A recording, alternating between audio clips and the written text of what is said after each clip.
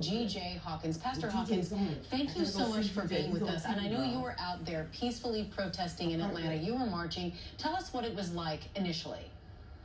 It was amazing. It was very well organized. Uh, people were really unified. It was really cool to see people of all nationalities come together for one purpose. And it was obviously to um, remember the life of George Floyd, but also to just uh, call for justice. And I think that in those first uh, few hours of the protest from about 12 to 6 p.m., it was a really unified experience for me. Right, which is exactly what the intent was. But then something changed. Tell me when things got violent. What was your reaction? What did you see and hear? So yeah, um, things got violent closer uh, towards 7, 8 p.m. And honestly, um, in that moment, I was very disappointed. Um, but then I started to remember that all of the good that was done that day um, really was impactful for me. That was my first protest. And so it was a historical um, event for me to be a part of. But when those things started to happen, I kind of felt a little disappointed, but I understand that people are very angry and the means by which we all express that anger is going to look different. So I try not to undermine their uh, pain and their passion and what they feel, but I also think that we can probably come up with better, more organized and strategic ways to bring about the change that all of us want. Yeah, and, and, and so beautifully put. And, and you didn't just talk about it, you decided to do something after the fact. Mm-hmm. You got in to help rebuild, to clean up. Talk about what that effort has been like.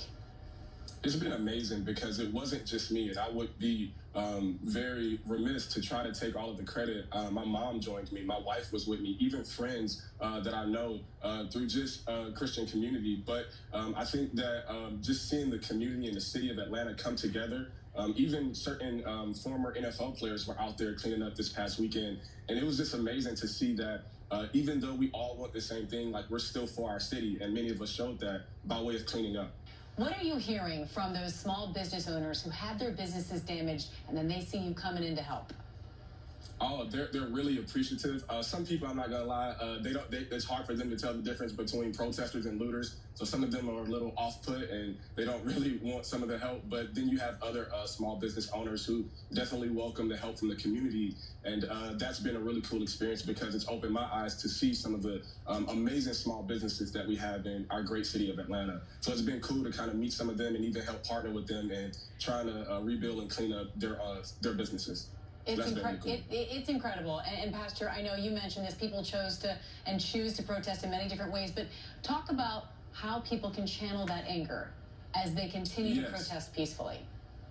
Yes, I think that what we need is more strategic, uh, excuse me, strategic, um, organized um, events. And I think that if we come together and actually uh, do our research on what we want to see passed um, as far as like legislations are concerned, I think there we can really start to make some really um, great impact. But I also think that the protests, at least the peaceful ones, are doing um, a lot of good as well. So I definitely, until we see what you know we'd like to see justice served in the end, I would definitely like to see us just continue to come together peacefully if we can do that apart from the violence and the looting. But I think that if we come together and really sit down and have conversations amongst one another, I think we'll be able to see um, and reason out like what we can do to like really make a difference. Oh, I think are, it starts with just regular conversations. It does, and and with everything you're doing and saying, and, and it begins with each individual, and you are leading the way.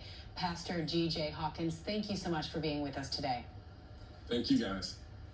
And we turn now to Dr. Joan Ashton for her final thoughts. So.